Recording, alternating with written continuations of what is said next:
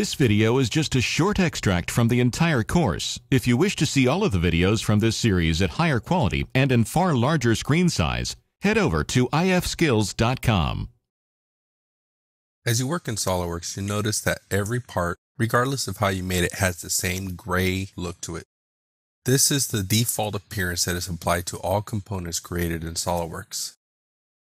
Many times there is no need to change how your part looks, especially if the part is only intended to be shown as line drawings.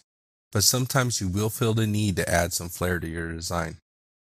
Adding colors and textures to parts is handy when you're trying to help differentiate between components in an assembly, and it's often a practice especially used in large assemblies with many components. Colors and textures are also used to create images of your design to share with others and can be used for renderings or even shown in drawings. I'm sure by now you have noticed how easy it is to achieve the same results within SOLIDWORKS, but by using various methods.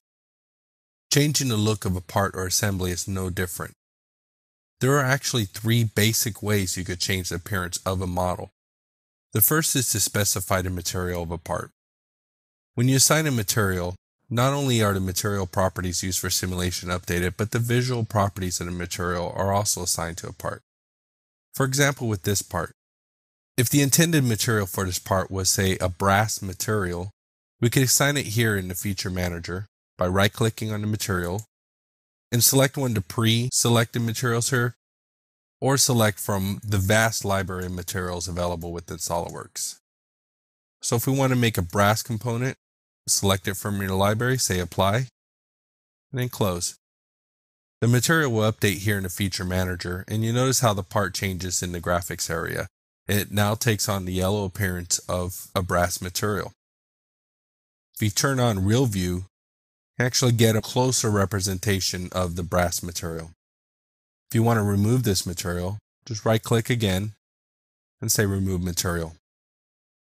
The next way to change the appearance of a part in a model is to add a real view material to the model. Real view appearances add the visual properties of a material, but do not affect the material properties of the model. So any material added to a component using real view will not affect simulations or update any of the metadata. Whereas adding a material, as we shown earlier, will update the properties, the metadata, which could be used for making simulations.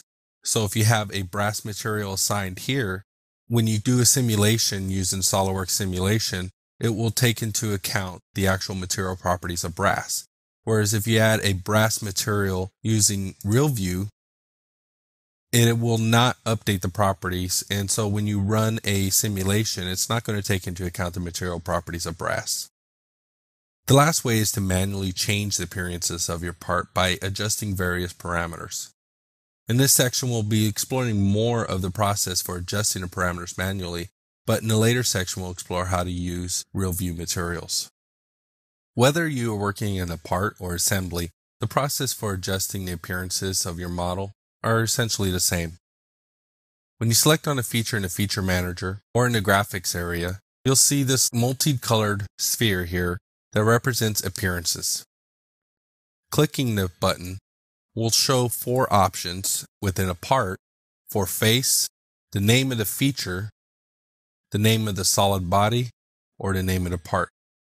This allows you to apply the material or color to the specific areas of the model. Within an assembly, there's an additional option for the assembly.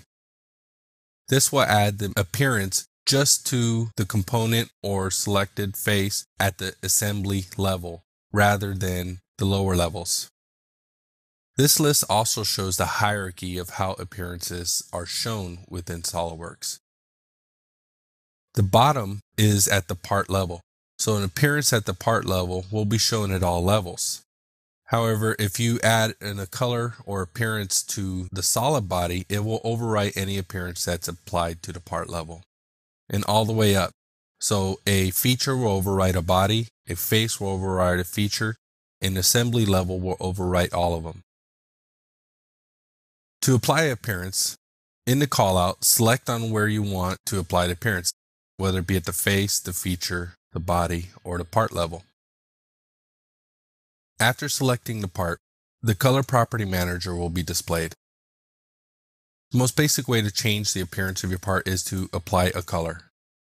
Here in the Color section of the Property Manager, you can use either one of the preset palettes, load a palette, either from something that you created customized or one of the pre-created color swatches. You can pick a color. If there's a color that you found and you want to save it for later, you can add it to your pre-save palette here, or you can remove it. You can also fine tune the color by using the RGB values, which is for red, green, blue, or HSV, which is for hue, saturation, and the value component of the color. Below the color section, you can adjust how this will be applied to the part, whether it be in the current display state, all display states, or specific display state. As you get more comfortable, you can also start to play with more advanced options that include adding a mapped image.